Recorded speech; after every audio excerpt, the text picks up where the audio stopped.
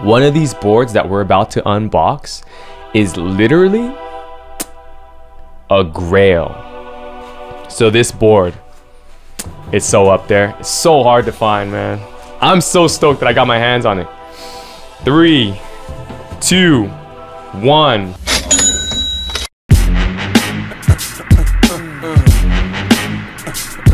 Yo, what's going on everyone? My name is Dez360 and welcome to Flipping Boards, the channel where you get to join me as I go on an adventure, a quest. I'm charged up. I am charged up because I love skateboards and I love cardboards, aka trading cards. And you get to join me as I build my collection, as I buy boards, as I sell boards, as I flip boards, learn so much about the culture, and uh, drop some tips on how you can do it too. End up with a couple extra hundred bucks in your pocket, a couple extra thousand bucks in your pocket if you do it right, if you learn the craft that is the art of flipping. Today, we are gonna unbox some, some cool skateboards. One of my favorite brands. Today, we're gonna do a primitive skateboard unboxing. And uh, you know, we're going Dragon Ball Z today, Dragon Ball Super actually. Hey, all my Dragon Ball Super fans, drop a comment. Make sure to like, comment, subscribe because we're gonna get it in. Unboxing some boards. I'm gonna tell you about the boards, how much I paid for them, and um, one of these boards that we're about to unbox is literally a grail. Grail status means, oh, basically super hard to find the board super duper rare. So we're gonna unbox three primitive skateboards right now, talk about them. You let me know which one's your favorite. So I got this big box here and there are boards in it. so yeah, that's what I do. So some of you guys might be asking, hey, how do you have all these boards? Well, I scour shops, internet, all that, you know, but I, and I build my collection. I build my collection. So I built up my collection over a couple years and now I'm at the point where, hey, I have to get rid of some boards so that I can buy new boards. So that's why this started. That's why this whole channel exists because I'm like, look, I have a problem. I love skateboard decks and I just keep growing them and growing them. So at least in the process now, I can sell some, make a little money, and then just honestly reinvest that and just keep it going. So I'm working on my personal collection, basically figuring out what it's gonna be like now. What boards am I gonna keep? What boards am I gonna sell? Um, it's a whole process. And uh, yeah, I love it. You know, like I said, I love skateboarding. I grew up a skater, grew up around the culture, grew up, you know, I was that kid with the Osiris G bag. If you know what that is, you're a real OG. Um, and now here I am, you know, years, decades later, uh, still loving skateboarding, you know, everything and watching the culture grow. So, okay, now that that's all handled, let's get back to the boards.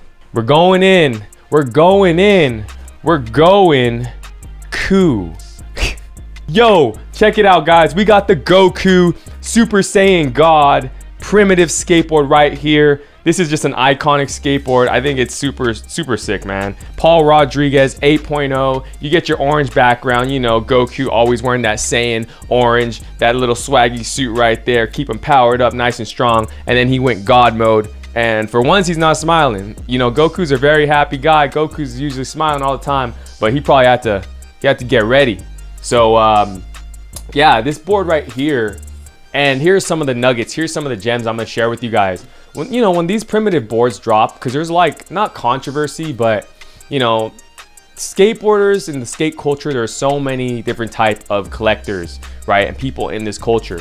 Um primitive has some of the coolest graphics ever because they've they have licensing agreements with like naruto with dragon ball z with sailor moon with all these cool brands that like catch the eye of people that aren't skaters you know what i mean? To be completely honest you know people that aren't skaters and that's the cool thing about the culture you don't have to necessarily be a skater now to have decks on your wall. Some people are happy with that some people aren't but at the end of the day i really think that like whatever keeps skateboarding growing like the art of you know the, the culture growing is great for the sport. Like the olympics are coming up all these things. So skateboarding is still in the infant stages infancy stages of like what it's to be. And i believe skateboarding unifies people so much. So um but yeah primitive boards. This board I, I like to rant a little bit. You know i get into it. I'm passionate about this stuff. Um so these primitive boards like it's super interesting. You can buy a board. Let's say this board retailed, I believe, for like 70 bucks, right? So uh, let's say I pay my $70. Bam, I have this board. But there are like everyone has the board. You can find it at Zumiez. There's all this controversy. Oh, that's a Zumiez board. Dude, Zumiez is a skate shop. Like they're gonna have boards and it's fine. You know what I mean? Like we don't gotta trip on everyone all the time. So this board, you get it. And let's say right now there's like a surplus. So everyone has the board. But then like a year passes. You hold the board for a year. Now all of a sudden, the board that you paid $70 for, you know, maybe in the beginning people were paying 100 bucks. They're all like just trying to get their hands on it, but or maybe they weren't because they're all at Zumiez. A year later passes and like the scarcity, like there are less, you know, that board's not getting reissued. So the board's now worth, you know, 120, 140, 150. That's kind of what happens. So a lot of times you'll see some of these releases and it's up to you. You know, that's why I say buy what you enjoy because you, you know, this could be totally wrong. It could be a whole year and the board is the same value. So it might end up staying on your wall. So just understand that, read markets, learn from it. Um, this board in particular retailed 70, but now it's already going to be rare. It's already rare. And the more like that Dragon Ball Super continues to grow and the more that Primitive just keeps crushing it and they're putting out other decks, they're on to the next. So this board right here, you know, you look on eBay, 150 bucks. Like that that's it, you know, the going rate, maybe more. Some people have it for 200 bucks. But like there, there's profit to be made, but at the same time, like if you, you know, if you did Goku, You'd pay that. I'd pay that. I mean, I have a Pokemon skateboard over here, uh, custom. I paid, you know, almost 200 bucks for because I love Pokemon and it's on the board. So that's all that has to do with it. Flip it over to the back. You get your primitive with the cool green background. Super cool. P-Rod. Another nice board. Paul Rodriguez. He got all the all the fire graphics. Let's move on to the next board. Da -da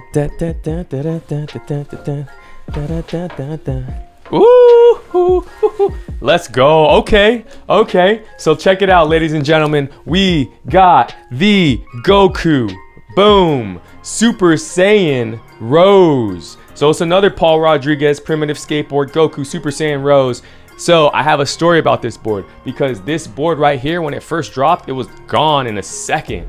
You know, Primitive released it, um, and Zumi, all that stuff, it was gone. Everyone gobbled it up. Everyone wanted to get their hands on this board, and I see why. It's a freaking amazing graphic. Look, you always have to think in the future, two years from now, like this board is gonna be harder to get, you know? So um, everyone trying to snatch it up now because it's iconic. Like, leave it on your wall. Like, like what, bro? Goku Super Saiyan Rose, like what you want? Goku Black, you know? So um, I love this board uh, as I mentioned, 8.0, and you know, you, like they're probably going for like 120 now. Um, but I mean, in the beginning, I've seen people were paying 150. Like it all depends. It's all supply and demand. Uh, if you got lucky enough to get it for 70, 80, great. Um, but I think this is a board to snag if you don't have it added to your collection because it's only going up. It's only going up. It's only going up. That's what happens. Skateboards are collector's items. So if you're a collector, get to it. Beautiful pink on the other side. I dig this board. And uh, I'm not gonna lie, you know, I have a couple of these, have a couple of these bad boys. So sick, man. So sick. I couldn't get my hands on it, so I had to. I paid extra. Like that was that's the truth, you know. I couldn't get my hands on it on the drop, so I'm like, I'm paying extra, man. I need that. I need it. So let me know if you have it uh, or if you need it. Drop a comment. Okay, drum roll please. You guys are amazing. If you've been watching the video so far, make sure to like, comment, subscribe because there are just so many more boards. A lot of tips and all that good stuff. Um, and it's not just about boards, so grabbing some stuff. I told you, it's skateboards and also cardboards. So real quickly, just to show some love out here, I got mine. I got mine, you got yours? Dragon Ball Super trading cards. We out there. Son Goku, you understand me? Son Goku, SS3 Goku right there. Got Frieza, got the whole squad. So, which leads me to this board right here. Ladies and gentlemen, get ready. Grail alert, it's about to go down. So this board, it's so up there. It's so hard to find, man. I'm so stoked that I got my hands on it. Three, two, one. Every time I look at this board, I shake my head because it's fire. All right, here we go. Bam. Bam. There it is, yo. Goku Black. Silvas. Miles Silvas, Goku Black, primitive skateboard. You got the red holo tin foil, you know, holo foil red. You got Goku Black. And uh man, what a board. What a freaking board. This is a grail. So hard to find. Like, scoured the internet. Like, this board came out a couple years ago. Like, it's a wrap, man. it's a wrap. And I'm gonna be honest with you guys. This board, it, it's personal collection worthy for everyone. I think it's so so iconic, super rare. But you know, just with anything, the right price. So I'm throwing it up online. The right price can come around, get the board. But man, search near and far. What do you guys think of this? So sick.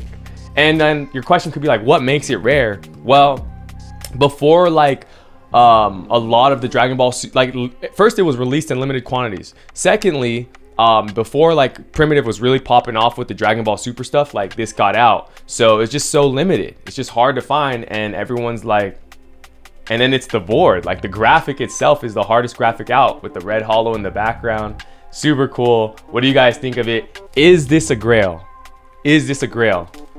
So there it is, guys. We just did three boards right here. Um, but I will say, like I've seen this online, 500 bucks. Not no joke, 500 bucks. People are gonna pay it too, because like there aren't any. It's like either you don't have the board, you don't own the board, or you pay 500. What are you gonna do if you really want it? So that's that.